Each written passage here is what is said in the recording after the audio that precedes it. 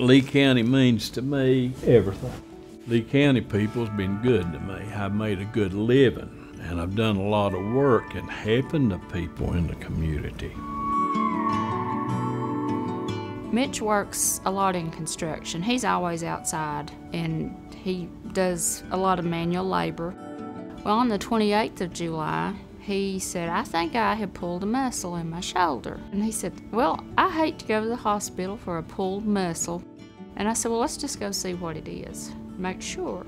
And he said, Okay, where are we going? And I said, We're going to our, our new Lee County Hospital. It's opened now, that's the first one closest to us. We pulled in and we walked into the ER. The receptionist, she asked me, you know, some questions and I told her about what was wrong. I diagnosed it myself, pull muscle.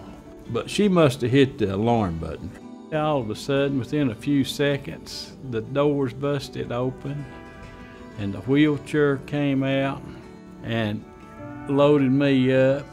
And I went back with him, and everybody was really nice to both of us and they worked as a team. Dr. Scarda would come back and forth, checking on, on Mitch. He did say, We're going to treat this like a heart attack until we know that it's not.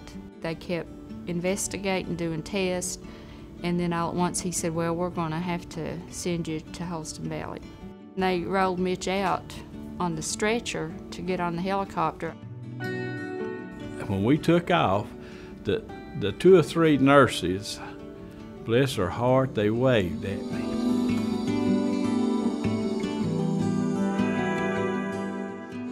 Soon as I got off that helicopter, they rolled me up through there and the doors opened up and your heart doctor Ladley and several more was right there it met me and they was talking as they they pushing me in there. It was my valve on top of my heart that was 95 or 98 percent clogged. And by the time I got to Holston Valley and got in there, they said, he's had surgery already, he's in recovery, he'll be out in a few minutes. And it was that fast.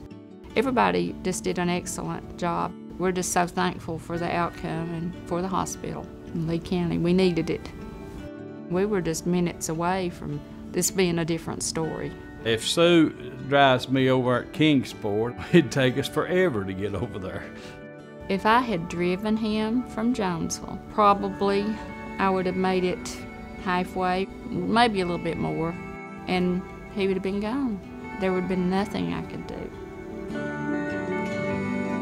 We are blessed to have this hospital here. I've got kids and grandkids, and that's why I'm so thankful that this hospital let me live for my people. This place is beautiful. I've been, you know, a lot of places, but I can't wait to get back to Lee County.